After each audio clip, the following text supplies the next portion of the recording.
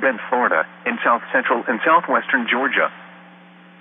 Tornado watch number 4 remains in effect until 1 p.m. Central Standard Time or 2 p.m. Eastern Standard Time for the following counties in Florida Calhoun, Franklin, Gadsden, Jackson, Jefferson, Leon, Liberty, Madison, Taylor, and Wakulla, and the following counties in Georgia Brooks, Decatur, Grady, Seminole, and Thomas, and the following Apalachee Bay or coastal waters from Keaton Beach to Ochlockonee River, and coastal waters from Ochlockonee River to Apalachicola.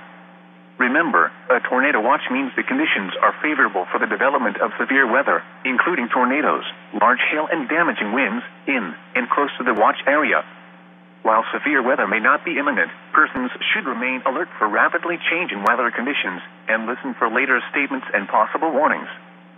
Stay tuned to NOAA Weather Radio, commercial radio and television outlets, or internet sources for the latest severe weather information.